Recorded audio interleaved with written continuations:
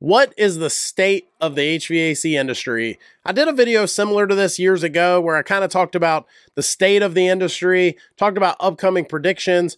I don't even know if I was right in those, but in this video, I want to do the same. If you're looking at buying a heating and air system anytime soon, especially this year, I want to go through some industry trends that we're seeing, some things going on, some things that you might want to know about, and possible things in the future. I think it's important for you to know some of these things before you spend thousands of dollars. One thing that I'm seeing, it seems to be a huge thing right now, and that is with the state of the industry being what it is about some of the things we're going to talk about, we're going to see more and more customers waiting. And because of that, that, I think we might just see another down year. 2023 was known across the industry as being a down year, with 2022 being such a high year in comparison. 2023 was down, numbers were down.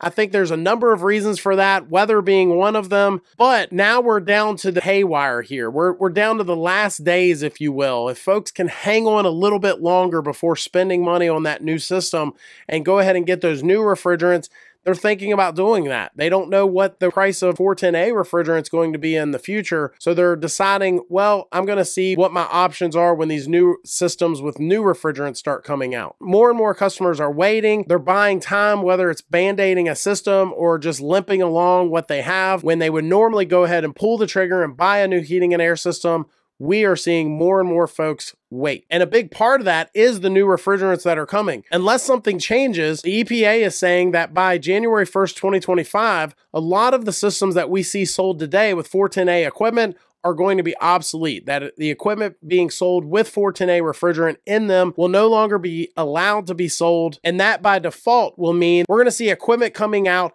that's going to have these new A2L refrigerants in them. A lot of folks are concerned about that. I don't know that it matters at this point. I think we're down to the haywire here. New refrigerants are coming. I'm being told that prices will rise with those. I don't necessarily understand why. We're being told that at least some of these refrigerants are going to have better efficiencies, better capabilities than 410A, meaning less refrigerant is going to be able to perform better than the same amount of refrigerant in 410A. A system that needed 10 pounds of refrigerant to do the job might now only need 6 pounds. But I'm sure there's more to it than that.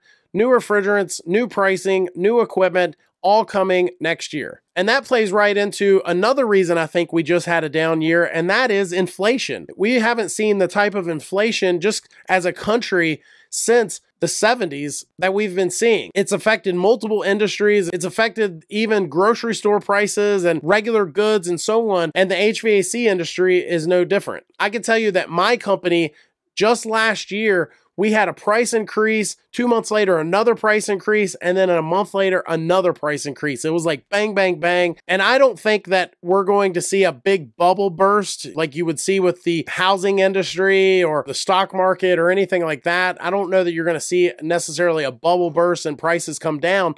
But what it might do is force these companies to be a little more creative, come out with some more budget friendly products. I know that my company, we sold Daikin, and Daikin came out with the Daikin Fit. It was a more budget friendly inverter system. Customers were able to get a high efficiency inverter system that they could save money on their electric bills, but then they could also get a more budget friendly option. A lot of those inverter systems might be a bigger investment, and this was a way for them to get into a high efficiency system without breaking the bank. Please note that Daikin has sponsored some of the content on our YouTube channel, and the FTC requires that I disclose that.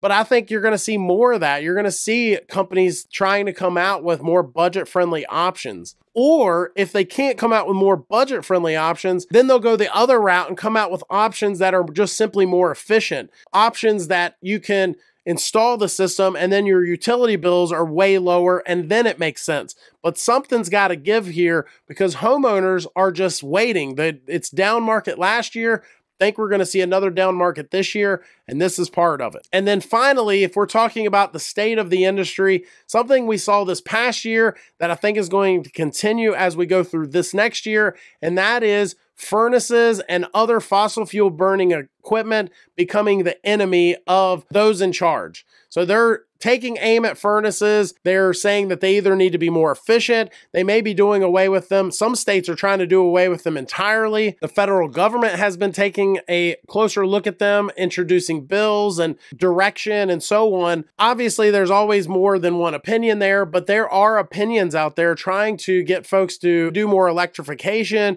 to do more heat pump options out there, to introduce heat pumps into markets that couldn't really even operate before. Now you're seeing systems that can work in low ambient temperatures, still producing heating into very cold temperatures. And even if they aren't necessarily banning furnaces, I could see it possible where they just simply incentivize folks to go more of an electric option, heat pumps, electrification, more rebates, more incentives, more ways to get folks to consider that option when maybe they didn't even consider it before. Do I think that furnaces will become obsolete this next year? No. But do I think that there could come a day where they do become a whole lot more rare? I think it's possible. We're already seeing it in other countries countries that are usually ahead of us, a little ahead of the curve. We're able to look at them and see the future, sometimes see where we're heading, and that is happening in other countries. Let me know your thoughts down in the comment section below. Are you concerned about any of the things we talked about? Are you hanging on to your current system because of all these changes? Love to hear about that. If you like this video, I think you'll like this video even more. It's where we talk about some of the secrets about heat pumps that some don't want you to know. Thanks for watching. Hit that subscribe button. We'll see you next time.